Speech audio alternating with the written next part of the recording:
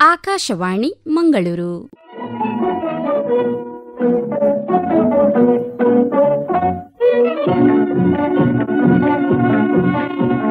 ದಾರಿದೀಪ. ಪ್ರಿಯ ಕೆಳುಗರಿಗೆ ವಂದನೆಗಳು ಹಾಗೂ ಇಂದಿನ ಯುವವಾಣಿ ದಾರಿದೀಪ ಕಾರ್ಯಕ್ರಮಕ್ಕೆ ಆತ್ಮೀಯ ಸ್ವಾಗತ.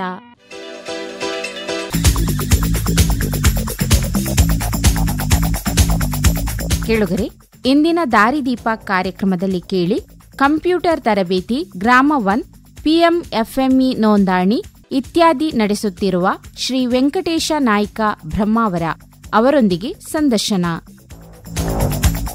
ಪ್ರಿಯ ಕೇಳುಗರ ವಂದನೆಗಳು, ಇಂದಿನ ದಾರಿದೀಪ ಕಾರ್ಯಕ್ರಮಕ್ಕೆ ಸ್ವಾಗತ. ಉತ್ಸಾಹ, ಬದ್ಧತೆ, ಪ್ರಾಮಾಣಿಕತೆ ಮತ್ತು ಸ್ವಲ್ಪ ಸಾಹಸ ಮನೋಭಾವ ಇದ್ರೆ ಜೀವನದಲ್ಲಿ ಯಾವ ರೀತಿಯಲ್ಲಿ ಯಶಸ್ಸನ್ನು ಗಳಿಸಬಹುದು ಅನ್ನೋದಕ್ಕೆ ಒಂದು ಉದಾಹರಣೆ ನಮ್ಮ ವೆಂಕಟೇಶ್ ಅವರು. ಅವರು ಮೂಲತಃ ಹೊನ್ನಾವರದ ನವಿಲ್ಗೊಂಡದವರು ಬೇರೆ ಕಾರಣಕ್ಕೆ ಉಡುಪಿಗೆ ಬಂದವರು. ಇಲ್ಲಿ ಒಬ್ಬ ಯಶಸ್ವಿ ಉದ್ಯಮಿಯಾಗಿ ಈಗ ತಮ್ಮ ಜೀವನವನ್ನು ಹೊಸದಾಗಿ ಕಟ್ಟಿಕೊಂಡಿದ್ದಾರೆ. ಇಂದೀಗ ಅವರು ನಮ್ಮ ಅತಿಥಿ. ವೆಂಕಟೇಶ್ ಅವರು ನಮಸ್ಕಾರ. ನಮಸ್ತೆ ಸರ್. ನೀವು ಯಾವ ಕಾರಣಕ್ಕೆ ನಿಮ್ಮ ಹೊನ್ನಾವರದ ನವಿಲುಗೋಣನ್ನು ಬಿಟ್ಟು ಉಡುಪಿಗೆ ಬಂದು ಅಕಸ್ಮಾತ್ತಾಗಿ ಅಚಾನಕ್ಕಾಗಿ ಒಬ್ಬ ಉದ್ಯಮಿಯಾಗಿ ಹೊರಹೊಮ್ಮಿದ್ರಿ?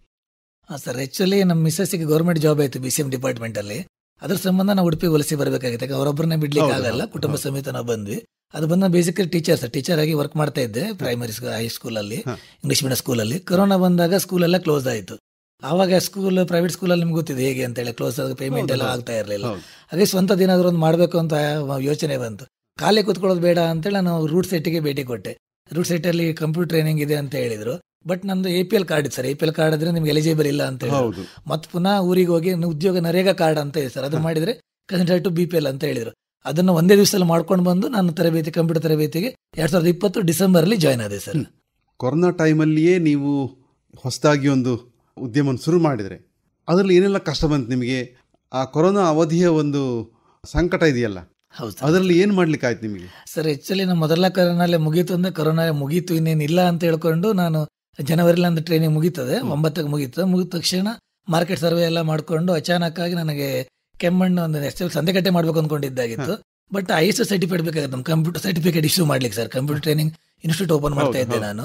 ಐ ಎಸ್ ಸರ್ಟಿಫಿಕೇಟ್ಗೋಸ್ಕರ ಮಣಿಪಾಲ್ ಮಾಯಲ್ಲಿ ಎನ್ಕ್ವೈರಿ ಮಾಡುವಾಗ ಕೆಮ್ಮಣ್ಣಲ್ಲಿ ಒಂದು ಆಲ್ರೆಡಿ ಟ್ರೈನಿಂಗ್ ಇದ್ದು ಕ್ಲೋಸ್ ಆಗಿದೆ ಕೊರೋನಾ ಟೈಮ್ ಅಲ್ಲಿ ಅಂತ ಹೇಳಿ ಒಂದು ಇನ್ಫಾರ್ಮೇಶನ್ ಸಿಕ್ತು. ನೋಡುವ ಅಂತ ಜಸ್ಟ್ ಅಲ್ಲಿ ಭೇಟಿ ಕೊಟ್ಟಿದ್ದ ನಾನು ಕೆಮ್ಮಣ್ಣಿಗೆ ಆಕ್ಚುಲಿ ಅಲ್ಲಿ ಅವ್ರ ಓನರ್ ಪಿ ಮಾಧವರಾವ್ ಅವ್ರು ಅಂತ ಇದ್ದಾರೆ. ಅವ್ರು ತುಂಬಾ ಸಪೋರ್ಟ್ ಮಾಡಿದ್ರು. ನಮ್ದು ಆಲ್ರೆಡಿ ರನ್ನಿಂಗ್ ಇರೋದು ಕ್ಲೋಸ್ ಆಗಿದೆ ಈ ಕೊರೋನಾ ಟೈಮ್ ಇಂದ. ನೀವು ಕಂಟಿನ್ಯೂ ಮಾಡಿ ಅಂತ ಒಂದು ಅವಕಾಶ ಕೊಟ್ಟರು ಹಾಗೆ ಕೆಮ್ಮಣ್ಣಲ್ಲಿ ಮಾಡಬೇಕು ಅಂತ ಮಾಡಿದ್ವಿ within forty five days ನಾನು ನೈನ್ಗೆ ಟ್ರೈನಿಂಗ್ ಮುಗಿಯುತ್ತೆ. ಫೆಬ್ರವರಿ ಟ್ವೆಂಟಿ ಫೋರ್ ನಾನು ಕೆಮಣಲ್ಲಿ ಸ್ಟಾರ್ಟ್ ಮಾಡ್ತೀನಿ ಸರ್ ಸ್ಟಾರ್ಟ್ ಮಾಡಿ ಎರಡು ತಿಂಗಳಿಗೆ ಏಪ್ರಿಲ್ ಮತ್ತೆ again corona lock second time. Corona ಅಂತ ಬಂತು. ಮತ್ತೆ ಅಗೇನ್ ಲಾಕ್ಡೌನ್ ಆಯಿತು. ಆಗ ಎಲ್ಲರೂ ಅಂದ್ರು ಇವನೇನು ಬಿಸ್ನೆಸ್ ಮಾಡಿದಾನೆ ಲಾಸ್ ಆಗತ್ತೆ. ಎಲ್ಲರೂ ಇದನ್ನ ಹೇಳ್ತಾರೆ ಪಾಸಿಟಿವ್ ಆಗಿ ಒಬ್ರು ಕೂಡ ಮಾತಾಡಿಲ್ಲ. ಮತ್ತೆ ಗೊತ್ತಿಲ್ಲದೆ ಊರಿಗೆ ಹೋಗಿ ಇವನೇನ್ ಮಾಡ್ತಾರೆ? ಅದೊಂದು. ಕ್ವಶನ್ ಬರುತ್ತೆ. ಮುಖ್ಯ ಪ್ರಶ್ನೆ ಅದು. ಮುಖ್ಯ ಪ್ರಶ್ನೆ ಅದು. ಬಟ್ ನನಗೆ ಗೊತ್ತಿಲ್ಲದೆ ಊರಲ್ಲೇ ನನಗೆ ಗಾಡ್ ಫಾದರ್ ಅಂತ ಹೇಳ್ಬೋದು. ಪಿ ಮಾಧವರಾವ್ ಸರ್ ಅವರು. ಅವ್ರನ್ನ ಸಪೋರ್ಟ್ ಆಗಿ ನಿಂತು ಪ್ರತಿಯೊಂದಕ್ಕೂ ಪಂಚಾಯತಿ ಇಂಟ್ರೂಸ್ ಮಾಡ್ಕೊಂಡು ಜನರ ಪರಿಚಯದಲ್ಲಿ ಪ್ರತಿಯೊಂದು ಸಪೋರ್ಟ್ ಆಗಿ ನಿಂತು. ನಾವು ಕೂಡ ಸ್ಟಾರ್ಟಿಂಗ್ ಅಲ್ಲಿ ಅಂಗಡಿ ತೆಗೆದು ಅಂಗಡಿಯಲ್ಲಿ ಕುತ್ಕೊಂಡಿರ್ತಾರೆ. Door to door visit every day four hours ನಾನು ಮನೆ ಮನೆಗೆ ಹೋಗ್ತಿದ್ದೆ ಪರ್ಮಿಟ್ ತಗೊಂಡು. ಈ ರೀತಿ ಸರ್ವಿಸ್ ಕೊಡ್ತೀವಿ ನಾವು ಬನ್ನಿ. ಎವ್ರಿ ಡೇ ಒಂದು four hundred to six hundred ಮನೆ ರೀಚ್ ಮಾಡ್ತಾ ಇದ್ದೀವಿ ಸರ್ ಕಂಟಿನ್ಯೂ ಒಂದು ಫಿಫ್ಟೀನ್ ಡೇಸ್ ಅದನ್ನೇ ಮಾಡಿದ್ದೀನಿ. ಮನೆ ಮನೆ ಭೇಟಿ ಕೊಡೋದು ಈ ಸರ್ವಿಸ್ ಇದೆ ನಮ್ಮಲ್ಲಿ. ಬನ್ನಿ ಅಂತ ಜನರನ್ನ ಕನ್ವಿನ್ಸ್ ಮಾಡೋದು? ಯಾಕಂದ್ರೆ ಜನ ನಮ್ಮ ಹತ್ರ ಫಸ್ಟ್ ಬರಬೇಕಾಗುತ್ತೆ. ನಾವ್ ಯಾರು ಅಂತ ಅವ್ರಿಗೆ ಗೊತ್ತಿರೋದಿಲ್ಲ. ಆ ಕನ್ವಿನ್ಸ್ ಕೆಲಸವನ್ನು ಅದು ಮಾಡಿದ್ವಿ. ಇನ್ನೇನು ಮಾರ್ಕೆಟ್ ಸೆಟ್ ಆಯ್ತು ಅಂದಾಗ ಸೆಕೆಂಡ್ ಅಲ್ಲೇ ಬಂದು. ಮತ್ತೆ ಪುನಃ ಕ್ಲೋಸ್ ಆಯ್ತು. ನಾವು ನೆಕ್ಸ್ಟ್ ಓಪನ್ ಮಾಡಿ ಜುಲೈದಲ್ಲಿ ಜೂನ್ದಲ್ಲೂ ಓಪನ್ ಮಾಡಿ ಗೌರ್ಮೆಂಟ್ ಪರ್ಮಿಷನ್ ಕೊಡ್ತು. ಬಟ್ ಕೊರೋನಾ ಇರೋದ್ರಿಂದ ನಮ್ಮ ಚಿಕ್ಕ ಮಕ್ಕಳಿದ್ರು ಆ ರೀಸನ್ಸಿಗೆ ನಾನು ಓಪನ್ ಮಾಡಿಲ್ಲ. ಮತ್ತೆ ಅಗೇನ್ ಜುಲೈದಲ್ಲಿ ರಿಟರ್ನ್ ಆಗಿ ಓಪನ್ ಮಾಡಿದೆ. ಜುಲೈ ಓಪನ್ ಹೇಗೆ ಫಸ್ಟ್ ಜೀರೋ ಏನಿತ್ತಲ್ಲ ಆ ಜೀರೋ ಇಂದನೇ ಅಗೇನ್ ಸ್ಟೇಜ್ ಸ್ಟಾರ್ಟ್ ಆಯ್ತು ಸರ್ ಸ್ಟಾರ್ಟಿಂಗ್ ಸ್ಟೇಜಸ್ ಆ ರೀತಿ ಮಾಡಿದಾಗ ಈ ಕುಮಾರ್ ಹೇಳಿದ್ರು ಕ್ಲೋಸ್ ಮಾಡ್ಕೊಂಡು ಹೋಗ್ತಾನೆ ಮುಚ್ತಾರೆ ಅಂತಾನೆ ಹೇಳಿದ್ರು. ಯಾಕಂದ್ರೆ ಅಲ್ಲಿ ಮೂರು ಸೈಬರ್ಗಳು ಆಲ್ರೆಡಿ ಇತ್ತು. ಹೌದು ಇದ್ದಾಗ ನಮ್ದು ಇನ್ನು ನಮ್ಮ ಟ್ರೈನಿಂಗ್ ಇನ್ಸ್ಟಿಟ್ಯೂಟ್ ಅಂತ ಓಪನ್ ಮಾಡಿದ್ದೆ ಸ್ಟಾರ್ಟಿಂಗ್ ಅಲ್ಲಿ. ಅವ್ರ ಜೊತೆಗೆ ಆನ್ಲೈನ್ ಸರ್ವಿಸ್ ಜನರಿಗೆ ಕೊಡುವ ಅಂತ ಹೇಳಿದ್ರೆ ಓಪನ್ ಮಾಡಿದೆ. ಅದ್ರ ಕಂಟಿನ್ಯೂ ಸರ್ವಿಸ್ಗಳನ್ನ ಮಾಡ್ತಾನೆ ಬಂದ್ವಿ ನಾವು. ಒಂದು ಆರು ತಿಂಗಳ ನಂಗೆ ಸ್ಟಾರ್ಟಿಂಗ್ ಪೀರಿಯಡ್ ಕಷ್ಟ ಆಯ್ತು ಸರ್ ಆದ್ರೆ ಕಷ್ಟ ಅಂತ ನಂಗೆ ರೆಂಟ್ ಕಟ್ಟಲಿಕ್ಕೆ ಏನು ಸಮಸ್ಯೆ ಆಗಿಲ್ಲ ಇದ್ದಿದ್ದು ವ್ಯವಸ್ಥೆ ಆಯಿತು. ಬಟ್ ನನಗೇನು ಉಳಿತಾ ಇರಲಿಲ್ಲ ಖರ್ಚಿಂದ ಹೋಗಿ. ಬಟ್ ನೆಕ್ಸ್ಟ್ ಸಿಕ್ಸ್ ಮಂತ್ ಏನಿದೆಯಲ್ಲ ಬ್ರೀತಿಂಗ್ ಪೀರಿಯಡ್ ಅಂತ ಅಲ್ಲಿಂದ ಕಂಟಿನ್ಯೂ ಆಗಿ ನನಗೆ ಬ್ರೀತಿಂಗ್ ಪೀರಿಯಡ್ ಸಿಕ್ತು. ಅದರಲ್ಲಿ ನನಗೊಂದು ಹೊಸ ಅಲೆ ಸಿಕ್ಕಿದ್ದು ಗ್ರಾಮೋನ್ ಅಂತ ಹೇಳಿ. ಅದು ಲಾಸ್ಟ್ ಡೇಟ್ ಎಂಡ್ ಆಗೋ ಟೈಮಲ್ಲಿ ನಮ್ಗೆ ಓನರೇ ತನಕ ಪೇಪರ್ ನೋಟಿಫಿಕೇಶನ್ ಬರುತ್ತೆ. ನಮ್ಮ ಓನರ್ ಇವತ್ತು ಲಾಸ್ಟ್ ಡೇಟ್ ಅಪ್ಲಿಕೇಶನ್ ಹಾಕಿ ಅಂತ ಹೇಳಿದ್ರು. ಅಪ್ಲಿಕೇಶನ್ ಹಾಕಿದ್ರೆ ನಮ್ಗೆ ಸೆಲೆಕ್ಟೆಡ್ ಆಯ್ತು. ಡಿ ಸಿ ಕಮಿಟಿ ಸೆಲೆಕ್ಟೆಡ್ ಆಗುತ್ತೆ. ಆ ಗ್ರಾಮವನ್ನು ಅನ್ನೋದು ಏನಿದೆಯಲ್ಲ ನನಗೆ ಬ್ರಿಜನ್ಸ್ ಗ್ರೋತ್ ಕೊಟ್ಟಿದ್ದು. ನಮ್ದು ಎಲ್ಲರಿಗೂ ಕೂಡ ಪಂಚಾಯತ್ ನಡ್ಕೊ ಪ್ರತಿ ಜನ ಮನ ಕೂಡ ನಮ್ಮಲ್ಲಿ ಬರ್ತಾ ಇದ್ದಾರೆ ಸರ್. ಅದರಲ್ಲಿ ಮೇನ್ ಕೊಟ್ಟಿರೋದು ನನಗೆ Ayushman card sir. Ayushman Bharat card ಅಂತ ಬಂತು. ಎಲ್ಲರೂ ಮಾಡ್ತಾ ಇದ್ರು. ಎಲ್ಲರೂ ಇವನ್ ಗೌರ್ಮೆಂಟ್ ಹಾಸ್ಪಿಟಲ್ ಕೂಡ ಟೆನ್ ರುಪೀಸ್ ಚಾರ್ಜ್ ಇದೆ ಸರ್. ಲೈಮಿನೇಷನ್ ಕಾರ್ಡ್ಗೆ thirty five rupees even government charge ಇರುವಂತದ್ದು ನಾನು ಅದನ್ನು ಫ್ರೀ ಆಗಿ ಸರ್ ಒಂದು ಏಳು ಸಾವಿರ ಜನಕ್ಕೆ ಉಚಿತವಾಗಿ ಆಯುಷ್ಮಾನ್ ಕಾರ್ಡ್ ಮಾಡಿದ್ದೀನಿ. ಅದು ನನಗೊಂದು ಮಾರ್ಕೆಟಿಂಗ್ ಮಾಡಿ ಕೊಡ್ತಾರೆ. ಆಯುಷ್ಮಾನ್ ಕಾರ್ಡ್ ಮಾಡ್ಲಿಕ್ಕೆ ಉದ್ಯಾವರ ಹಿಡ್ಕೊಂಡು ಮಲ್ಪೆ ಈಚೆ ಕಡೆ ಬ್ರಹ್ಮಾವರ ಈ ಕಡೆ ಮಣಿಪಾಲ್ ಎಲ್ಲ ಕಡೆ ಮಾಡಿದ್ದೀನಿ ಸರ್. ಅದಕ್ಕೆ ನನಗೆ ಮೇನ್ ಕೋಪರೇಟ್ ಮಾಡಿದ್ರೆ ನಮ್ದು ಇದರಲ್ಲಿ ಡಿ ಪಿ ಎಂ ಅಂತ ಇದ್ದಾರೆ ನಮಗೆ. ನವೀಶ್ ಸರ್ ಅಂತ ಹೇಳಿ ಕೋರ್ಡಿನೇಟರ್ ನಾಗೇಶ್ ಸರ್ ಅಂತ ಹೇಳಿ ಗ್ರಾಮವನದ ಅವ್ರು ಬೇರೆ ಬೇರೆ ಕಡೆ ಕ್ಯಾಂಪಸ್ ಮಾಡ್ಲಿಕ್ಕೆ ಅನುಕೂಲ ಮಾಡಿಕೊಟ್ರು. ಆ ಕ್ಯಾಂಪಸ್ ನಮ್ಗೆ ಏನಿದೆಯಲ್ಲ ಮಾರ್ಕೆಟಿಂಗ್ ಮಾಡಿ ಕೊಡ್ತು. ಇವನ್ ಒಬ್ರು ವಯೋವೃದ್ಧರಿದ್ರು ಕೂಡ ಮನೆಗೆ ಹೋಗಿ ನಾನು ರಾತ್ರಿ ಏಳು ಗಂಟೆ ಎಂಟು ಗಂಟೆ ಅವ್ರ ಮನೆಗೆ ಹೋಗಿ ತಮ್ಮ ತಗೊಳ್ಬೇಕಾಗತ್ತದು. ಮನೆಗೆ ಹೋಗಿ ಕೂಡ ಮಾಡಿ ಕೊಡ್ತಾ. ಆ ಸರ್ವಿಸ್ ಈಗಲೂ ಕೂಡ ಮಾಡ್ತಾ ಇದ್ದೀನಿ. ಅದಕ್ಕೆ ಎಕ್ಸ್ಟ್ರಾ ಚಾರ್ಜ್ ಮಾಡೋದಿಲ್ಲ. ಸರ್ವಿಸ್ ಬೇಸಿಕಲ್ ಅಂದ್ರೆ ಅಂಗವಿಕಲರಿದ್ರೆ ಅಥವಾ ಅನಾರೋಗ್ಯ ಪೀಡಿತರಾಗಿದ್ರೆ ಏಜ್ ಆದವರು ಇದ್ರೆ ಅವ್ರ ಮನೆಗೆ ಹೋಗಿ ಆಯುಷ್ಮಾನ್ ಕಾರ್ಡ್ ಇರ್ಬೋದು Aadhaar card P M Kisan ಅಂತ ಬರ್ತಾರೆ ಕೆ ವೈ ಸಿ ಮಾಡೋದಿರ್ಬೋದು ಮತ್ತು ಬೇರೆ ಬೇರೆ ಪಾನ್ ಕಾರ್ಡ್ಗಳು ಮಾಡೋದಿರುತ್ತೆ ಮನೆಗೂ ಕೂಡ ಮಾಡಿ ಕೊಟ್ಟಿದ್ದೀವಿ ಸರ್ ಕಂಪ್ಲೀಟ್ ಆಗಿ. ಈ ರೀತಿ ಸರ್ವಿಸಿಂದ ಗ್ರೋತ್ ಆಗ್ತಾ ಬಂದ್ವಿ ಸರ್ ಅದನ್ನ ನಮಗೆ ಗ್ರಾಮವನ್ನು ಸರ್ವಿಸ್ ಕೊಡ್ತಾ ಕೊಡ್ತಾ ಸಿಕ್ಸ್ ಮಂತ್ ಇಯರ್ಸ್ ಅಲ್ಲಿ ಆಯುಷ್ಮಾನ್ ಕಾರ್ಡ್ ಮಾಡಿದಕ್ಕೆ ಬೆಸ್ಟ್ ಪರ್ಫಾರ್ಮ್ ಅವಾರ್ಡ್ ಬಂತು ಸರ್ ನಮಗೆ. ಆ ಅವಾರ್ಡ್ ಸಿಕ್ಕಿದ ತಕ್ಷಣ ಡಿ ಸಿ ಅವರಿಂದ ಅವಾರ್ಡ್ ಸಿಕ್ತು ಅದನ್ನ. ಅದನ್ನ ನಂಗೆ ರೂಟ್ ಸೆಟ್ ಅಲ್ಲಿ ಸನ್ಮಾನ ಕರೆದು ನಾನು ರೂಟ್ ಸೆಟ್ ಟ್ರೈನಿಂಗ್ ಪಡ್ಕೊಂಡಿದ್ದೆ. ನಮ್ದು ಎ ಜೆ ಲಕ್ಷ್ಮಿ ಸರ್ ಇದ್ರು ಡೈರೆಕ್ಟ್ ಸರ್ ಅವರು. ಹಾಗೆ ಕರುಣಾಕರ್ ಸರ್ ಸಂತೋಷ್ ಸರ್ ಇದ್ರು. ಅವರು ಸನ್ಮಾನಕ್ಕೆ ಕರೀತಾರೆ. ಆಸರೆ ಸಂಘಟನೆ ಮೆಂಬರ್ ಕೂಡ ಆಗಿದ್ದೀನಿ ನಾನು. ಆ ಸನ್ಮಾನ ಕರೆದಾಗ ಸಂಘಟನೆ ಸನ್ಮಾನದಲ್ಲಿ ಸ್ವತಂತ್ರ ದಿನಾಚರಣೆ ದಿವಸ ಎಲ್ ಡಿ ಎಂ ಸರ್ ಬಂದಿರ್ತಾರೆ ಪಿ ಎಂ ಪಿಂಜಾರ್ ಸರ್ ಅಂತ ಹೇಳ್ಕೊಂಡು.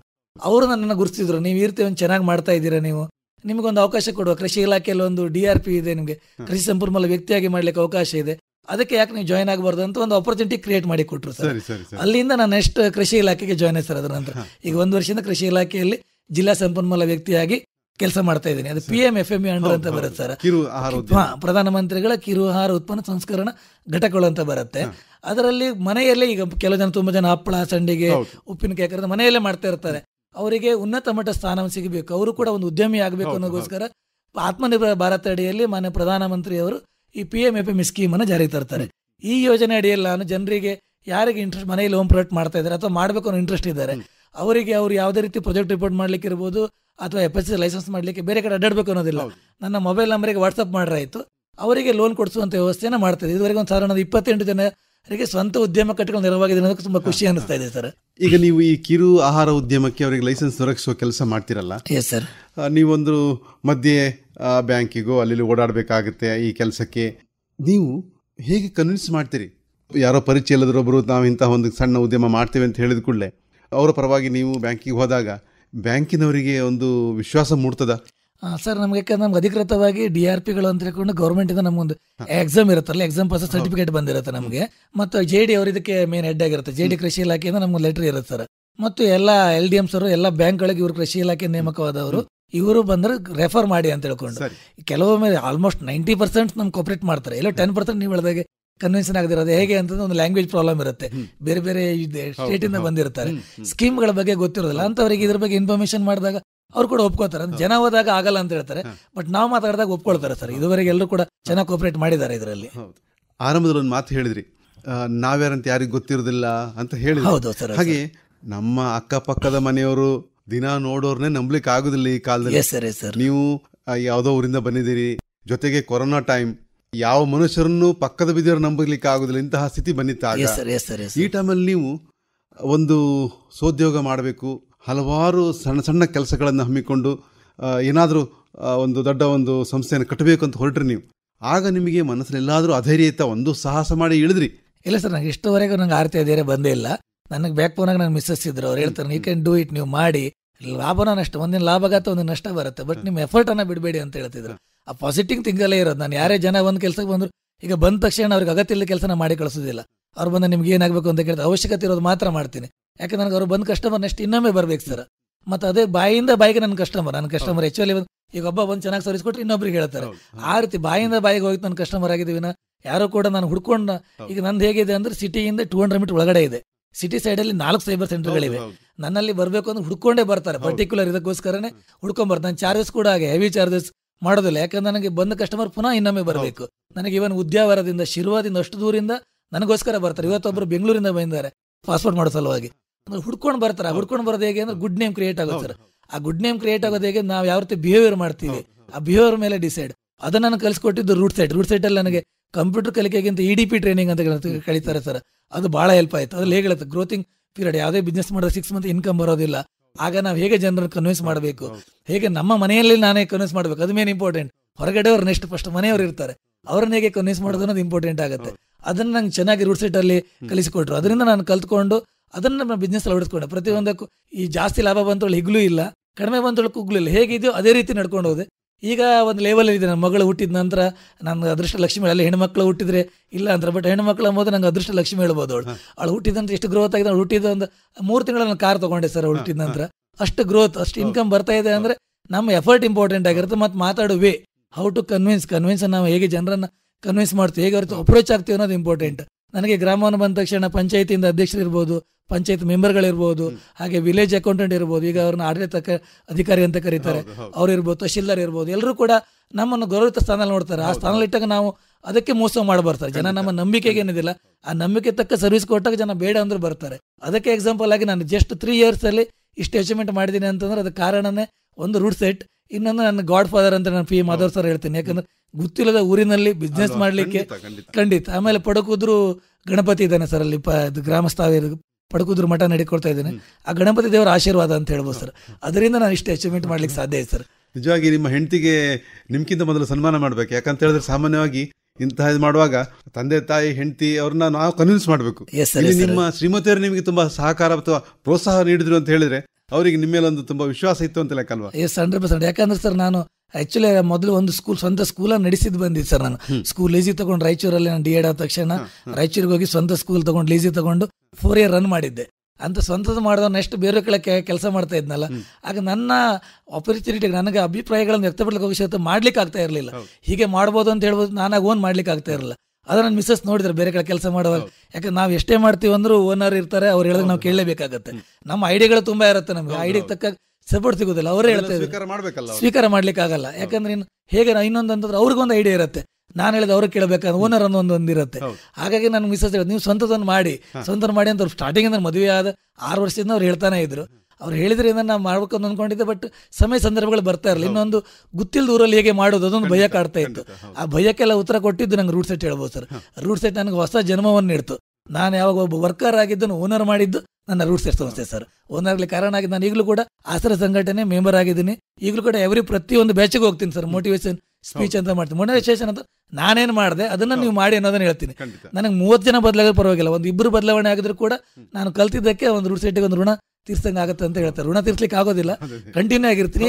ಒಂದು ಬದಲಾವಣೆ ಆದ್ರೆ ಒಂದು ಅವಕಾಶ ಆಗತ್ತೆ ಅಂತ ಹೇಳ್ಕೋಸ್ಕರ ಹೋಗ್ತಾ ಇದ್ದೀನಿ ಸರ್ ವೆಂಕಟೇಶ್ ಅವರೇ ಗ್ರಾಮ ಒನ್ ಮಾಡ್ಕೊಂಡಿದ್ದೀರಲ್ಲ? ಎಸ್ ಸರ್ ಅದರಲ್ಲಿ ಯಾವುದೆಲ್ಲ ಸರ್ವಿಸ್ ಕೊಡ್ತೀರಿ ಯಾವುದೆಲ್ಲ ಸೇವೆಗಳು ನೀವು? ಸರ್ ಗ್ರಾಮವನ್ನು ಸೇರಿಸಿದ್ರೆ ಒಟ್ಟು ಏಳ್ನೂರ ಐವತ್ತು ಸರ್ವಿಸ್ಗಳು ಬರುತ್ತೆ ಗೌರ್ಮೆಂಟ್ ಅಂಡರ್ ಸರ್ ಈಗ ರೆವಿನ್ಯೂ ಡಿಪಾರ್ಟ್ಮೆಂಟ್ ಇಂದ ತೊಂಬತ್ತೆರಡು ಸೇವೆಗಳಿದೆ ಆದ ಜಾತಿ ಅದೇ ಇರಬಹುದು ಓಲ್ಡ್ ಏಜ್ ಪೆನ್ಷನ್ ಇರಬಹುದು ಇಂದಿರಾ ಗಾಂಧಿ ಪೆನ್ಷನ್ ಇರಬಹುದು ಆಯುಷ್ಮಾನ್ ಭಾರತ್ ಕಾರ್ಡ್ ಇರಬಹುದು ಸಂತತಿ ನಕ್ಷೆ ಇರಬಹುದು ಅಥವಾ ಹಿಂದುಳಿದ ವರ್ಗಗಳ ಪ್ರಮಾಣ ಪತ್ರ ಇರಬಹುದು ಬಿ ಸರ್ಟಿಫಿಕೇಟ್ ಮೈನಾರಿಟಿ ಸರ್ಟಿಫಿಕೇಟ್ ಆಮೇಲೆ ಲೇಬರ್ ಕಾರ್ಡ್ ಈ ರೀತಿ ಟೋಟಲ್ ಆಗಿ ಏಳ್ನೂರ ಐವತ್ತು ಸರ್ವಿಸ್ಗಳಿರುತ್ತೆ ಅದ್ರ ಜೊತೆಗೆ ಇನ್ನೊಂದು ನಮ್ಮ ಜೊತೆಗೆ ಬಿ ಎಲ್ ಎಸ್ ಸಂಸ್ಥೆ ಟೈಪ್ ಆಗಿದೆ. ಆ ಬಿ ಎಲ್ ಎಸ್ ಸಂಸ್ಥೆ ಜೊತೆಗೆ ನಮಗೆ ಪಾಸ್ಪೋರ್ಟ್ ಮಾಡೋದಿರ್ಬೋದು ಅಥವಾ ಕಾರ್ ಮತ್ತು ಬೈಕ್ ಇನ್ಸೂರೆನ್ಸ್ ಮಾಡೋದಿರ್ಬೋದು ನ್ಯೂ ಬೈಕ್ ಪರ್ಚೇಸ್ ಮಾಡ್ತಾರೆ ಲೋನ್ ಮಾಡ್ಕೊಡ್ಲಿಕ್ಕೆ ಇರ್ಬೋದು ಇವೆಲ್ಲದಕ್ಕೂ ಅದ್ರಲ್ಲಿ ಅವಕಾಶ ಇದೆ. ಮತ್ತು ಡಿಪಾರ್ಟ್ಮೆಂಟ್ ನಮ್ಮ ಜೊತೆಗೆ ಕಂಟಿನ್ಯೂ ಇರುತ್ತೆ ಸರ್ ನಮ್ಮ ಜೊತೆಗೆ ಇರುತ್ತೆ. ಆಮೇಲೆ ಗಣಿ ಇಲಾಖೆ ಸರ್ವಿಸ್ಗಳು ಓಲ್ಡ್ ಏಜ್ ಪೆನ್ಷನ್ಸ್ ಇರ್ಬೋದು ಆಮೇಲೆ ಹಿರಿಯ ನಾಗರಿಕ ಕಾರ್ಡ್ ಮಾಡೋದಿರ್ಬೋದು ಇವೆಲ್ಲದೂ ಕೂಡ ಈ ಸರ್ ಸರ್ವಿಸಸ್ ಇದೆ ಸರ್ ಸಾಮಾನ್ಯವಾಗಿ ಹೆಚ್ಚಾಗಿ ನಿಮಗೆ ಬರುವಂತದ್ದು ಯಾವುದು ಸರ್ವಿಸ್ ಸರ್ ಹೆಚ್ಚಿನದಾಗಿ ನಮ್ಮಲ್ಲಿ ರೆವಿನ್ಯೂ ಡಿಪಾರ್ಟ್ಮೆಂಟ್ ಸರ್ ಮ್ಯಾಕ್ಸಿಮಮ್ ಬರೋದೇ ಜನ ಈಗ ಮಕ್ಕಳ ಸಲ ಸೇರಿಸಬೇಕು ಜಾತಿ ಸರ್ಟಿಫಿಕೇಟ್ ಬೇಕಾಗುತ್ತೆ ಕಾರ್ಡ್ ಸರ್ಟಿಫಿಕೇಟ್ ಬೇಕಾಗುತ್ತೆ. ಹೆಚ್ಚಿನದಾಗಿ ಬರೋ ರೆವಿನ್ಯೂ ಡಿಪಾರ್ಟ್ಮೆಂಟ್ ಸರ್ವಿಸಸ್ ಮತ್ತು ಇದು ಆಯುಷ್ಮಾನ್ ಭಾರತ್ ಕಾರ್ಡ್ ಮಾಡ್ಲಿಕ್ಕೆ ಎಲ್ಲರೂ ಬರ್ತಾರೆ. ಪ್ರತಿಯೊಂದು ಮನೆಗೆ A P L B P L ಎಲ್ಲರೂ ಮಾಡ್ಲಿಕ್ಕೆ ಅವಕಾಶ ಇದೆ. ಎಲ್ಲರೂ ಕೂಡ ಅದಕ್ಕೆ ಬರ್ತಾರೆ. ನೆಕ್ಸ್ಟ್ ಪಾಸ್ಪೋರ್ಟ್ ಮಾಡ್ಲಿಕ್ಕೆ ಬರ್ತಾರೆ ಸರ್. ಯಾಕಂದ್ರೆ ಈಗ ಪಾಸ್ಪೋರ್ಟ್ ಅಲ್ಲಿ ಎರಡ್ ನೇಮ್ ಮೂರ್ ನೇಮ್ ಕಂಪಲ್ಸರಿ ಆಗಿದೆ ಕೆಲವು ಏಜೆನ್ಸಿಗಳು ತುಂಬಾ ಹಣ ತಗೊಂಡು ಮಾಡ್ತಾರೆ. ನಾವು ಅದನ್ನ ಲೀಗಲ್ ಆಗಿ ಪ್ರೊಸೀಜರ್ ಮಾಡ್ತಾರೆ ಲೀಗಲ್ ಪ್ರೊಸೀಜರ್ ಇದೆ. ಅದ್ರ ಪ್ರಕಾರ ಅವ್ರಿಗೆ ಮಾಡಿ ಕೊಡ್ತೀವಿ. ಅದಕ್ಕೆ ಬರ್ತಾರೆ. ಇನ್ನು ಕೆಲವು ಜನ ಸ್ವಂತ ಉದ್ಯೋಗ ಮಾಡಬೇಕು ಅನ್ನೋದಕ್ಕೋಸ್ಕರ ಬರ್ತಾರೆ. ಅವರಿಗೆ ರೂಟ್ ಸೆಟ್ ಟ್ರೈನಿಂಗ್ ಕೊಡ್ತಾರೆ. ಟ್ರೈನಿಂಗ್ ಅನ್ನ ಕೊಡಿಸುವಂತ ವ್ಯವಸ್ಥೆಯನ್ನ ಮಾಡ್ತಾ ಇದ್ದೀವಿ ಸರ್ ನಾವು. ಈಗ ನಿಮಗೆ ಈ ಗ್ರಾಮ ಒನ್. ಇಷ್ಟೆಲ್ಲ ಸೇವೆಗಳನ್ನು ಕೊಡ್ತೀರಿ. ನೀವು ನಿಮಗೆ ಯಾರನ್ನಾದ್ರೂ ಸಹಾಯಕರು ಇಟ್ಕೊಂಡಿದ್ದೀರಾ? ಹಾಂ ಸರ್ ಇದುವರೆಗೆ ನಾನು ನಾಲ್ಕು ಜನಕ್ಕೆ ಉದ್ಯೋಗವನ್ನು ಕೊಟ್ಟಿದ್ದೀನಿ ಸರ್ ಮತ್ತೆ ಎಂಟು ಜನಕ್ಕೆ ಟ್ರೈನಿಂಗ್ ಕೊಡಿ ನನ್ನ ಹತ್ರ ಕಲ್ತ್ಕೊಂಡು ಬೇರೆ ಕಡೆ ಸೈಬರ್ ಸೆಂಟರ್ ಮಾಡ್ತಾ ಇದ್ದಾರೆ. ಬಂದು ಬಂದು ಕಲ್ತ್ಕೊಂಡು ಹೋಗಿದ್ದಾರೆ. ನಾಲ್ಕು ಜನ ನನ್ನ ಹತ್ರ ವರ್ಕ್ ಮಾಡಿ ಕೆಲಸ ಮಾಡ್ತಾ ಇದ್ದಾರೆ ಸರ್ ನನ್ನ ಹತ್ರ.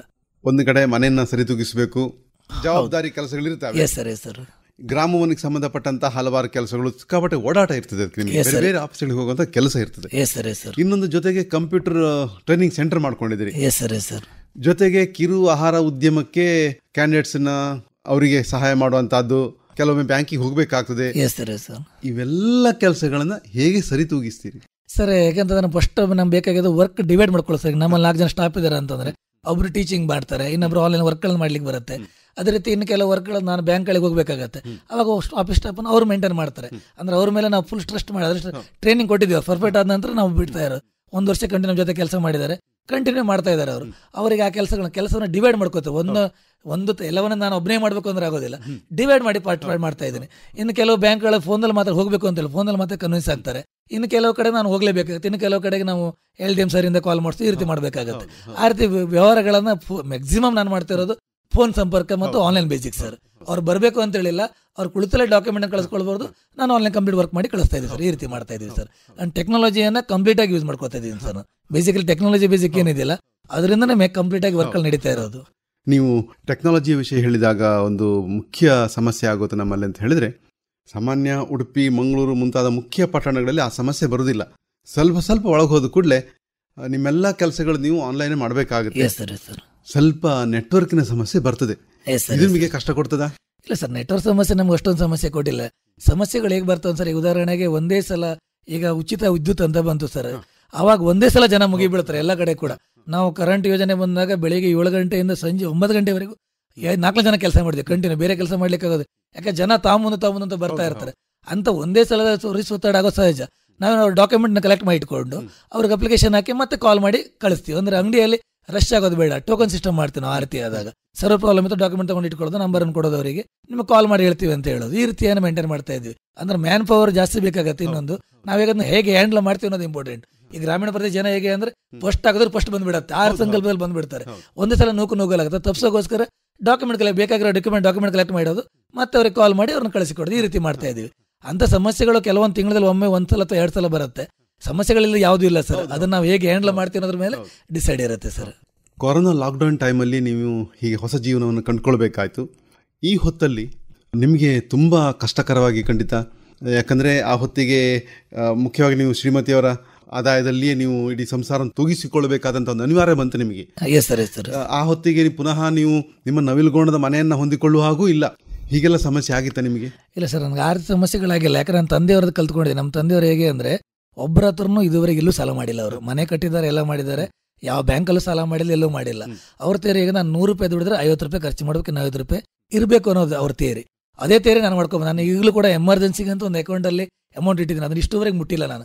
ಇಂಥ ಸಿಚುವೇಶನಲ್ಲಿ ಕೊರೋನಾ ಬಂದು ಸಿಚುವೇಶನ್ ಆ ಅಮೌಂಟನ್ನು ಅನ್ನ ಮುಟ್ಟಿಲ್ಲ. ಅಂದ್ರೆ ಎಮರ್ಜೆನ್ಸಿ ಅಂತಂದ್ರೆ ಎಮರ್ಜೆನ್ಸಿ ಟೈಮ್ಗೋಸ್ಕರನೇ ನಾವು ಇಟ್ಟಿರೋಣ. ಅದನ್ನು ಬೇರೆ ಕಡೆ ನಾನು ಈ ರೀತಿ ಸ್ಟಾರ್ಟಿಂಗ್ ಅಂದ್ರೆ ಮಾಡ್ಕೊ ಬಂದಿರೋದ್ರಿಂದ ಲಾಕ್ಡೌನ್ ಕೂಡ ನಿಮಗೆ ಎಮರ್ಜೆನ್ಸಿ ಆಗಿ ಕಾಣಲಿಲ್ಲ. ಕಾಣಲಿಲ್ಲ ಸರ್. ಅಂದ್ರೆ ಅಷ್ಟು ಮೇಂಟೈನ್ ನಾವು ಇದ್ರಲ್ಲಿ ಈಗ ಐವತ್ತು ರೂಪಾಯಿ ಇತ್ತು ಐವತ್ತು ರೂಪಾಯಿ ಜೀವನ ಮಾಡ್ತೀವಿ ನಾ ನೂರು ರೂಪಾಯಿ ನಾನು ಹೋಗೋದಿಲ್ಲ. ಸಾಲ ಮಾಡೋ ಜಾ ಮನಸ್ಥಿತಿ ನಾನು ನಿಂದಿಲ್ವ ನಾ ಈಗಲೂ ಕೂಡ ಇಷ್ಟು ಬಿಸ್ನೆಸ್ ಮಾಡಿದ್ರು ಕೂಡ ಎಲ್ಲೂ ಒಂದು ರೂಪಾಯಿ ಸಾಲ ಮಾಡಿಲ್ಲ ಸರ್. ಇದ್ದ ಬಂಡವಾಳವನ್ನು ಯೂಸ್ ಈಗ ಸ್ಟಾರ್ಟಿಂಗ್ ಅಲ್ಲಿ ಒಂದು ಎರಡು ಲಕ್ಷ ಬಂಡವಾಳ ಹಾಕೊಂಡು ಅದರಲ್ಲಿ ಬಂದು ಇನ್ಕಮ್ ಅಲ್ಲಿ ಮತ್ತೆ ಪುನಃ ಇನ್ವೆಸ್ಟ್ ಮಾಡ್ತಾ ಹೋಗಿದ್ದೀನಿ. ಆ ರೀತಿ ಈಗ ಸರ್ ಅಸೆಟ್ಸ್ ಒಂದು ಟೆನ್ ಲ್ಯಾಕ್ ಅಸೆಟ್ಸ್ ಆಗಿದೆ ಸರ್. ಅಂದ್ರೆ ಬಂದ ಹಣದ ಅಸೆಟ್ಸ್ ಇನ್ವೆಸ್ಟ್ ಮಾಡ್ತಾ ಹೋಗಿದ್ದೀವಿ ನಾ. ಸಾಲ ಮಾಡಿ ಇನ್ವೆಸ್ಟ್ ಮಾಡಿ ನಾನು ಹೋಗೋದಿಲ್ಲ ಸರ್. ನಾನು ಈಗ ಮುಂದಿನ ಯೋಚನೆ ವರ್ಷದಲ್ಲಿ ನಾನು ಏನು ತೊಗೊಳ್ಬೇಕು ಅಂತಂದರೆ ಅದು ಪ್ರಿಪೇರ್ ನಾನು ಈಗಿಂದ ಉಳಿತಾಯ ಮಾಡ್ತಾ ಹೋಗ್ತೀನಿ. ಆಗ ಬಿಸ್ನೆಸ್ ಪ್ಲಾನ್ ಅಂತ ಹೇಳಿದ್ರೆ ನಂಗೆ ರೂಟ್ ಸೈಡ್ ಕಲ್ಸ್ಕೊಟ್ಟಿರೋ ಅದನ್ನೇ. ನಮ್ಮ ಹತ್ರ ಏನಿದೆ ಅದರ ನೈಂಟಿ ಪರ್ಸೆಂಟ್ ನಾವು ಹಾಕಿ ಟೆನ್ ಪರ್ಸೆಂಟ್ ನಮಗೋಸ್ಕರ ಇಟ್ಕೊಳ್ಬೇಕು. ಆಪದ್ದನ ಅಂತ ಕಲಿಸ್ಕೊಟ್ಟಿದ್ದೆ. ಅದನ್ನು ನಾನು ಕಂಟಿನ್ಯೂ ಮಾಡ್ತಾ ಇದ್ದೀನಿ ಸರ್. ಹಾಗೆ ನನಗೆ ಇಷ್ಟುವರೆಗೂ ಹಣಕಾಸಿನ ತೊಂದರೆ ಅಂತೇಳಿ ಯಾವುದರಿಂದ ನನಗಾಗಿಲ್ಲ ಸರ್. ಕೆಲವೊಮ್ಮೆ ನಮ್ಮ ವ್ಯವಹಾರ ಆದ್ರ ಮೇಲೆ ನಾವು ಪುನಃ ಅದಕ್ಕೆ ರಿವ್ಯೂ ಹೋಗ್ಲಿಕ್ಕೆ ಆಗುದಿಲ್ಲ. ಮುಖ್ಯವಾಗಿ ನಾನು ಈ ಪ್ರಶ್ನೆ ಹೇಳುವಂತದ್ದು ನಿಮ್ಮ ಆಹಾರ ಉದ್ಯಮಗಳ ವಿಚಾರದಲ್ಲಿ. ಎಸ್ ಸರ್ ಎಸ್ ಸರ್ ನೀವು ಅವರಿಗೆ ಲೈಸೆನ್ಸ್ ಮಾಡಿ ಕೊಡ್ತೀರಿ ಮುಗಿತಲ್ಲಿಗೆ. ಆದರೆ ಸಾಮಾನ್ಯವಾಗಿ ಇಂತಹ ಕಿರು ಆಹಾರ ಉದ್ಯಮಗಳಲ್ಲಿ ನಾವು ನೋಡುವಾಗ ಅವರು ಮಾರುಕಟ್ಟೆಗೆ ಬಂದಾಗ ನಮಗೆ ಅವರ ಮೇಲೆ ವಿಶ್ವಾಸ ಬರುವುದಿಲ್ಲ. ಏನಂತ ಹೇಳಿದ್ರೆ ಮುಖ್ಯವಾಗಿ ಶುಚಿತ್ವದ ಬಗ್ಗೆ. ಮನೆಯಲ್ಲಿ ಮಾಡ್ತಾರೆ ಹಪ್ಪಳವೋ ಸಂಡಿಗೆಯೋ ಇತ್ಯಾದಿ ಇತ್ಯಾದಿ. ಗುಣಮಟ್ಟ ಇರುವುದಿಲ್ಲ. ಶುಚಿಯಾಗಿ ಮಾಡ್ತಾರೋ ಇಲ್ವೋ ಅಂತ ಅನುಮಾನ ಇರ್ತದೆ.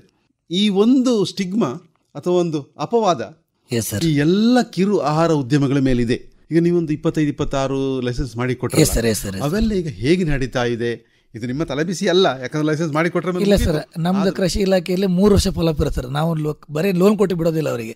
ಲೋನ್ ಕೊಟ್ಟಂತ ಅವ್ರ ಬಿಸ್ನೆಸ್ ಹೇಗೆ ನಡೀತಾ ಇದೆ. ಅವರಿಗೆ ಮಾರ್ಕೆಟಿಂಗ್ ಬೇಕಾ? ಮಾರ್ಕೆಟಿಂಗ್ ಕೂಡ ನಾವು ಹೆಲ್ಪ್ ಮಾಡ್ತೀವಿ ಸರ್. ಕೃಷಿ ಮೇಳೆಗಳಾಗಿರುತ್ತೆ ಅಲ್ಲಿ ಬೇರೆ ಬೇರೆ ಕಾಂಟ್ಯಾಕ್ಟ್ ಕೂಡ ಮಾಡಿ ಕೊಡ್ತೀವಿ. ಅಂದ್ರೆ ಬರೇ ಲೋನ್ ಕೊಟ್ಟು ಓನ್ಲಿ ನೀವು ಮಾಡೋಂತ ಬಿಡೋದಿಲ್ಲ. ಮೂರು ವರ್ಷ ಅವ್ರ ಜೊತೆ ಕೃಷಿ ಇಲಾಖೆ ನಿರಂತರವಾಗಿರ್ತದೆ.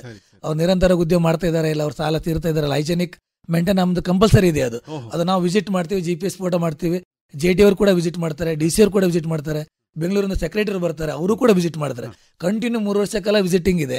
ಮತ್ತೆ ಇನ್ನೊಂದು ಈಗ ನೀವು ಹೇಳಿದ್ರಲ್ಲ ಮೊದಲಿತ್ತು. ಯಾವುದೋ ಬ್ರಾಂಡೆಡ್ ಐಟಮ್ಗಳಿಗೆ ಜನ ಮೊರೆ ಹೋಗೋದು. ಈಗ ಜನ ಹೋಮ್ ಮೇಡ್ ಬರುತ್ತೆ ಸರ್ ಮರಳಿ ಗೂಡಿಗೆ ಅಂತ ಹೇಳ್ತಾರಲ್ಲ. ಯಾವ ಕೊರೋನಾ ಆಯ್ತಲ್ಲ ಆಗ ಜನ ಈಗ ಮಾಡ್ತಾರೆ ಶುಚಿ ರುಚಿಯಾದ ಆಹಾರ ನಮ್ಮ ಊರಲ್ಲಿ ಎಲ್ಲಿ ಸಿಗ್ತಾ ಇದೆ? ಊರಿನ ಮಾರುಕಟ್ಟೆಗಳಿಗೆ ಜನ ಜಾಸ್ತಿ ಹೋಗ್ತಾ ಇದ್ದಾರೆ ಈಗ. ಹಾಗಾಗಿ ಹೋಮ್ ಮೇಡ್ಗೆ ತುಂಬಾ ಡಿಮಾಂಡ್ ಇದೆ ಸರ್. ಈಗ ಎಣ್ಣೆಗಳನ್ನ ನೀವು ಆನ್ಲೈನ್ ಮಾರುಕಟ್ಟೆ ನೂರೈವತ್ತು ರೂಪಾಯಿ ಕೊಡ್ತಾರೆ ನಿಮ್ಗೆ ಎಣ್ಣೆಗಳನ್ನ. ಬಟ್ ಈಗಲೂ ಕೂಡ ಜನ ಇನ್ನೂರ ಐವತ್ತು ರೂಪಾಯಿ ಕೊಟ್ಟು ಪ್ರೆಸ್ ಮಾಡಿದಂತ ಎಣ್ಣೆಗಣಗಳ ತಗೊಳ್ತಿದ್ದಾರೆ ಎಣ್ಣೆ ಗಣಗಳ ತಗೊಳ್ಳಿ ಯಾಕಂದ್ರೆ ನ್ಯಾಚುರಲಿಟಿ ಇರುತ್ತೆ ಅನ್ನೋದಕ್ಕೋಸ್ಕರ. ಈಗ ಜನ ಜಾಸ್ತಿಯಾಗಿ ಹೋಮ್ ಮೇಡ್ಗೆ ಮೆಡ್ ಹೋಗ್ತಾ ಇದ್ದಾರೆ ಹೋಮ್. ಮೇಡ್ ತುಂಬಾ ಡಿಮಾಂಡ್ ಕೂಡ ಇದೆ ಸರ್ ಮಾರ್ಕೆಟ್ಗೆ ಈಗ ಚಕ್ಕುಲಿಗಳಿಗೆಲ್ಲ ಹೋಮ್ ಮೇಡ್ ಚಕ್ಕುಲಿಗೆ ಇನ್ನೂರ ಐವತ್ತರಿಂದ ಮುನ್ನೂರು ರೂಪಾಯಿ ಕೆಜಿ ಡಿಮಾಂಡ್ ಇದೆ ಸರ್ ಈಗ. ಮಾಡುವವರಿಲ್ಲ. ಮಾಡಿದ್ರೆ ಅದಕ್ಕೆ ಮಾರ್ಕೆಟಿಂಗ್ ಇದ್ದೇ ಇದೆ. ಮಾರ್ಕೆಟಿಂಗ್ ಕೂಡ ನಾವು ಮಾಡಿ ಕೊಡ್ತೀವಿ. ಮತ್ತೆ ಕಂಟಿನ್ಯೂ ಮೂರು ವರ್ಷ ನಾವು ವಿಸಿಟಿಂಗ್ ಇರುತ್ತೆ ಸರ್. ಲೋನ್ ಮಾಡಿ ನಾವು ಬಿಡೋದಿಲ್ಲ. ಮೂರು ವರ್ಷ ವಿಸಿಟಿಂಗ್ ಇರುತ್ತೆ ಸರ್. ಈಗ ನೀವು ಇಷ್ಟೆಲ್ಲ ಕೆಲಸಗಳನ್ನ ಮೈ ಮೇಲೆ ಹಾಕೊಂಡು ಸಂಪೂರ್ಣ ದಿನಕ್ಕೆ ಇಪ್ಪತ್ನಾಲ್ಕು ಗಂಟೆ ವ್ಯಸ್ತರಾಗಿ ಮಾಡ್ತಾ ಇದ್ದೀರಿ. ಎಸ್ ಸರ್ ಎಸ್ ಸರ್ ಈಗ ನಿಮ್ಮ ಹೆಂಡತಿ ಮಕ್ಕಳಿಗೆ ಕೊಡಲಿಕ್ಕೆ ನಿಮ್ಮ ಹತ್ರ ಸಮಯ ಉಂಟಾ? ಸರ್ ಹೆಚ್ಚಿನಾಗ ನಂದು ನನ್ನ ಟೈಮ್ ಹೇಗಿದೆ ಅಂತಂದ್ರೆ ಬೆಳಿಗ್ಗೆ ಒಂಬತ್ತರಿಂದ ಸಂಜೆ ಆರು ಗಂಟೆ ನಾನು ಆಫೀಸ್ ಟೈಮ್ ಅಂತ ಇಟ್ಕೊಂಡಿದ್ದೀನಿ. ಆ ಟೈಮಲ್ಲಿ ಆಫೀಸ್ ವರ್ಕ್ಗಳನ್ನು ಮಾತ್ರ ಮಾಡ್ತೀನಿ. ಈಗ ಮಿಕ್ಕಿದ ಕೆಲವೊಂದು ಎಮರ್ಜೆನ್ಸಿಗೆ ಮೊಬೈಲಲ್ಲಿ ಕಾಲ್ ಮಾಡ್ತಾರೆ ಕಾಲ್ ಮಾಡಿ ಮಾತಾಡ್ತೀವಿ ಬಿಟ್ಟರೆ ಫ್ಯಾಮಿಲಿ ಟೈಮ್ ಏನಿದೆ ಒಂಬತ್ತರಿಂದ ಆರು ಗಂಟೆ ಮಾತ್ರ ಆಫೀಸ್ ಟೈಮ್ ಉಳಿದ ಫ್ಯಾಮಿಲಿ ಟೈಮ್ ಅಂತಂದ್ರೆ ಕಂಪ್ಲೀಟ್ ಫ್ಯಾಮಿಲಿಗೆ ಕೊಡ್ತೀನಿ. ಕೆಲವೊಂದು ಸಲ ಫೋನ್ ಬರುತ್ತಿಲ್ಲ ನೀವು ಹೇಳಿದಾಗ ಮಕ್ಕಳಿದ್ದಾಗ ಫೋನ್ ಬರ್ತಾ ಇರುತ್ತೆ. ಫೋನಲ್ಲಿ ವ್ಯವಹಾರ ಮಾಡಿ ಮುಗಿಸ್ತೀನಿ ಅದನ್ನು. ನಾಳೆ ಮಾಡಿ ಅಥವಾ ವಾಟ್ಸಪ್ ಮಾಡಿ. ಅಲ್ಲಿ ಮೆಸೇಜ್ ಮಾಡೋದ್ರ ಮೂಲಕ ಮುಗಿಸ್ತಾ ಇದ್ದೀನಿ ಸರ್ ಸರ್ ಇನ್ನೊಂದು ನಾನು ಹೇಳಿಕ್ಕೆ ಇಷ್ಟಪಡ್ತೀನಿ ಕೃಷಿ ಇಲಾಖೆಯಿಂದ ಪಿ ಎಂ ಎಫ್ ಎಂ ಯೋಜನೆಯಲ್ಲಿ ನಮ್ಮ ಉಡುಪಿ ಮತ್ತು ಮಂಗಳೂರು ಜಿಲ್ಲೆಗೆ ಐದುನೂರ ಐದುನೂರು ಲೋನ್ಗಳಿಗೆ ಅವಕಾಶ ಇದೆ. ಬಟ್ ಇದುವರೆಗೆ ಬಂದಿರೋ ಅರ್ಜಿಗಳ ಸಂಖ್ಯೆ ನೂರ ನಲವತ್ಮೂರು ಅಷ್ಟೇ ಸರ್ ಇನ್ನು ಮುನ್ನೂರೈವತ್ತು ಜನಕ್ಕೆ ಅವಕಾಶ ಇದೆ. ಯಾರಾದರೂ ಈ ಕಾರ್ಯಕ್ರಮ ನೋಡೋದ್ರ ಮೂಲಕ ಅಪ್ರೋಚ್ ಆಗ್ತೀರಾ ಅಂತ ಹೇಳಿದ್ರೆ ನನ್ನ ಮೊಬೈಲ್ ನಂಬರ್ ಹೇಳ್ತೀನಿ. ಇಂಟ್ರೆಸ್ಟ್ ಇದ್ದವರು ಕಾಂಟ್ಯಾಕ್ಟ್ ಮಾಡ್ಬೋದು. Eight three one zero three five three five one nine. Repeat ಆಗಿ eight three one zero three five three five one nine. ಈ ಮೊಬೈಲ್ ನಂಬರಿಗೆ ತಮ್ಮ ಹೆಸರು ಮತ್ತು ಪ್ಲೇಸ್ ಅನ್ನ ವಾಟ್ಸಪ್ ಮಾಡಿದರೆ ಅದಕ್ಕೆ ಏನು ಸಪೋರ್ಟ್ ಡಾಕ್ಯುಮೆಂಟ್ಸ್ ಬೇಕು ಅದನ್ನ ನಾವು ಕಳ ಕಳ ಕೇಳ್ತೀವಿ. ಆ ಡಾಕ್ಯುಮೆಂಟ್ ತೊಗೊಂಡು ಪ್ರೊಜೆಕ್ಟ್ ರಿಪೋರ್ಟ್ ರೆಡಿ ಮಾಡಿ ಬ್ಯಾಂಕಿಗೆ ಕೂಡ ನಾವೇ ಅಪ್ರೋಚ್ ಆಗಿ ವಿತ್ ಇನ್ ಫಿಫ್ಟೀನ್ ಡೇಸ್ ಜಾಸ್ತಿ ಟೈಮ್ ಇಲ್ಲ ಇದು ಆನ್ಲೈನ್ ವರ್ಕ್ ಇದೆ. ವಿತಿನ್ ಇನ್ ಫಿಫ್ಟೀನ್ ಡೇಸ್ ಅಲ್ಲಿ ಲೋನ್ ಸ್ಯಾಂಕ್ಷನ್ ಮಾಡೋ ವ್ಯವಸ್ಥೆನ ನಾವು ಮಾಡಿ ಕೊಡ್ತೀವಿ ಸರ್. ಅಂದ್ರೆ ಈ ರಂಗದಲ್ಲಿ ಇನ್ನೂ ಅವಕಾಶ ಸಾಕಷ್ಟು ಇದೆ ಸಾಕಷ್ಟು ಇದೆ ಸರ್. ಮತ್ತೆ ಫಿಫ್ಟಿ ಪರ್ಸೆಂಟ್ ಸಬ್ಸಿಡಿ ಸ್ಕೀಮ್ ಕೃಷಿ ಇಲಾಖೆ ಬಿಟ್ಟರೆ ಬೇರೆ ಯಾವ ಇಲಾಖೆಯಿಂದಿಲ್ಲ ಸರ್. ಈಗ ಬೇರೆ ಬೇರೆ ಮುದ್ರಾ ಲೋನ್ ಇದೆ ಪಿ ಎಂ ಇ ಇದೆ ಎಲ್ಲವೂ ಇದೆ. ಅವು ಟ್ವೆಂಟಿ ಫೈವ್ ಪರ್ಸೆಂಟ್ ಮತ್ತು ತರ್ಟಿ ಫೈವ್ ಪರ್ಸೆಂಟ್ ಮಾತ್ರ. ಬಟ್ ಈ ಸಾಲ ಏನಿದೆಯಲ್ಲ ಫಿಫ್ಟಿ ಪರ್ಸೆಂಟ್ ಸಬ್ಸಿಡಿ ಇದೆ ಸರ್ ಅವರಿಗೆ. ಯಾರಾದ್ರೂ ಇಂಟ್ರೆಸ್ಟ್ ಇದ್ದರೆ ಕಾಂಟ್ಯಾಕ್ಟ್ ಮಾಡಿ ಮಾಡ್ಕೊಳ್ಬಹುದು ಸರ್ ಇಷ್ಟೆಲ್ಲ ಕಾರ್ಬಾರನ್ನ ನಾಲ್ಕೈದು ವರ್ಷದಲ್ಲಿ ಮಾಡಿದ್ರಿ ನೀವು. ಮೂರು ವರ್ಷ ಸರ್ ಮೂರು ಮೂರು ವರ್ಷದಲ್ಲಿ ಮಾಡಿದ್ರಿ. ಎಸ್ ಸರ್ ಎಸ್ ಸರ್ ಅದ್ಭುತವೇ. ನಿಮ್ಮ ಮುಂದಿನ ಯೋಜನೆಗಳು ಏನಿದ್ದಾವೆ? ನಿಜವಾಗಿ ನನಗೆ ಅದ್ರಲ್ಲಿ ತುಂಬಾ ಕುತೂಹಲ ಇದೆ. ನೀವು ಮುಂದೆ ಏನು ಮಾಡ್ಬೋದು? ಯಾಕಂದ್ರೆ ಇನ್ನೂ ವಯಸ್ಸಿದೆ.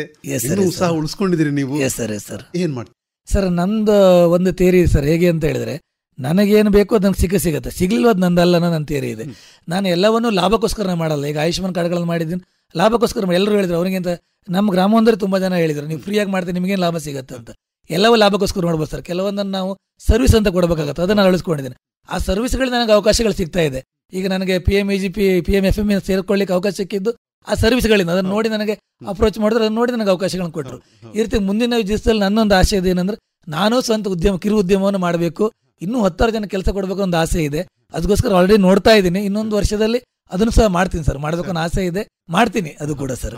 ನಿಮ್ಮ ಈ ಅತ್ಯಂತ ಕ್ರಿಯಾಶೀಲ ಮನಸ್ಸನ್ನು ನೋಡಿ ಮೊನ್ನೆ ತಾನೇ ಸಮಾಪನಗೊಂಡಂತಹ ವಿಕಸಿತ ಭಾರತ ಯಾತ್ರೆಯ ಒಂದು ಅಭಿಯಾನದಲ್ಲಿ ನಿಮ್ಮನ್ನ ಉಡುಪಿಯ ಇವರು ಲೀಡ್ ಬ್ಯಾಂಕ್ನವ್ರು ನಿಮ್ಮನ್ನ ಅದರಲ್ಲಿ ತೊಡಗಿಸ್ಕೊಂಡು ಎಸ್ ಸರ್ ರಿಸೋರ್ಸ್ ಪರ್ಸನ್ ಆಗಿ ಕರೆದಿದ್ರು ಸರ್ ಅದರಲ್ಲಿ ನಿಮ್ಮ ಚಟುವಟಿಕೆ ಹೇಗಿತ್ತು? ಏನೆಲ್ಲ ಕೆಲಸ ಮಾಡಿದ್ರಿ? ಎಷ್ಟು ಓಡಾಡಿದ್ರಿ?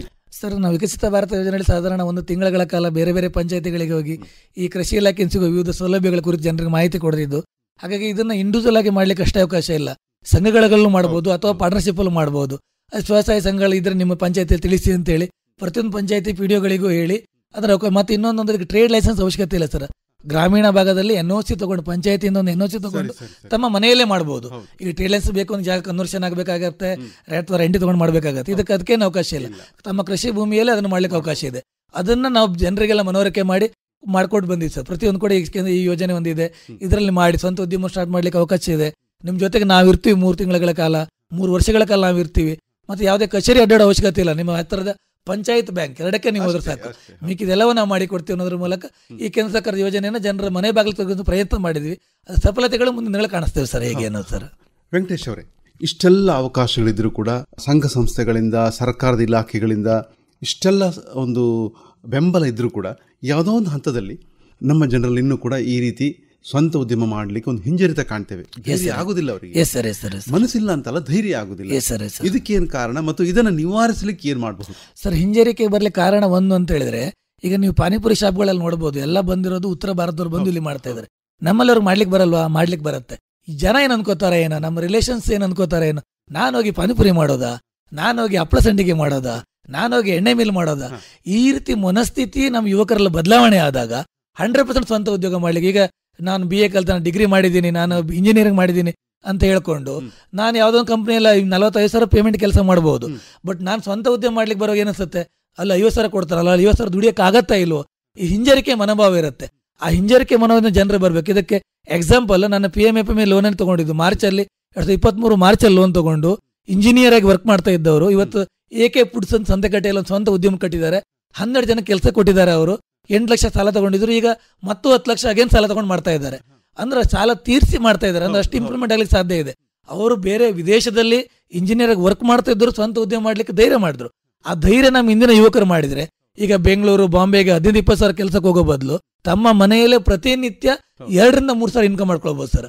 ಅದಕ್ಕೆ ನಾನು ಎಕ್ಸಾಂಪಲ್ ಆಗಿದ್ದೀನಿ. ತುಂಬಾ ಜನಕ್ಕೆ ಏನಂದ್ರೆ ಉತ್ಪಾದನೆ ಮಾಡಬಹುದು ಮಾರುಕಟ್ಟೆ ಮಾಡೋದು ಹೇಗೆ? ತುಂಬಾ ಜನ ಚಿಂತೆ ಮಾಡೋದು ಮಾರುಕಟ್ಟೆ ಬಗ್ಗೆ. ಮಾರುಕಟ್ಟೆ ಮಾಡಲಿಕ್ಕೆ ಕೂಡ ತುಂಬಾ ಅವಕಾಶಗಳಿವೆ. ಆ ಅವಕಾಶಗಳ ಕುರಿತು ನಾವು ಯೋಚಿಸೋದಿಲ್ಲ ಯೋಚಿಸೋದಿಲ್ಲ ಯಾಕೆ ಅಂದ್ರೆ ನಾನು ಹೋಗಿ ಇನ್ನೊಬ್ಬರ ಹತ್ರ ಕೇಳಬೇಕು ಅನ್ನೋ ಮನೋಭಾವನೆ. ಯಾವಾಗ ನಾವು ಈ ಕೀಳರಿಮೆಯಿಂದ ಬರ್ತೀವಲ್ಲ ಆಗ ಸಾಧ್ಯ ಇದೆ ಸರ್ ಹಂಡ್ರೆಡ್ ಪರ್ಸೆಂಟ್ ಸಾಧ್ಯ ಇದೆ ಸರ್. ಸರಿ ವೆಂಕಟೇಶ್ವರ ಇದುವರೆಗೆ ನಿಮ್ಮ ಸಾಹಸಮಯ ಬದುಕಿನ ಕೆಲವು ಅನುಭವಗಳನ್ನು ನಮ್ಮಲ್ಲಿ ಹಂಚಿಕೊಂಡ್ರಿ.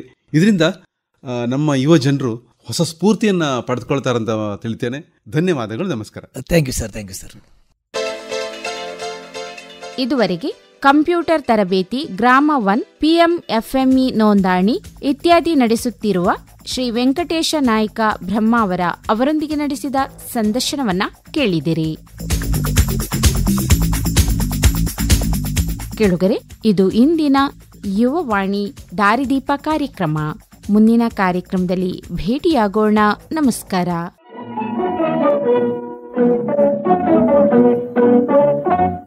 Thank